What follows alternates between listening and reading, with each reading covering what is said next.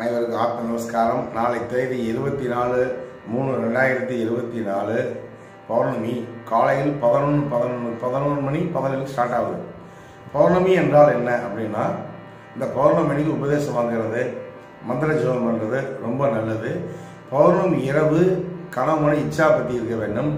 என்று கருத்த பௌர்ணமியருக்கு இரவு கருத்தரிக்க குழந்தை வாழ நோயுள்ள குழந்தையாக பிறக்கும். அதனால் இரவு சாப்பிடக்கூடாது. கவனிச்சுங்க பௌர்ணம் இரவு சாப்பிடக்கூடாது.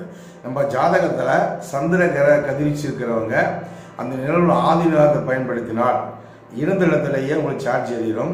உங்கள் உடம்பு எப்பொழுது சூடாக இருக்கிறவங்க பதினே முக்கால்லேருந்து பன்னெண்டு பத்து வரலும் ஆதி நாதத்தை அந்த நிலவில் மூலிமா நீங்கள் இழுத்துட்டீங்கன்னா உங்கள் உடம்பு உடனே குளிர்ச்சி ஆகிடும் இதான் பௌர்ணமி சிறப்பாகும் அம்சமாகும்.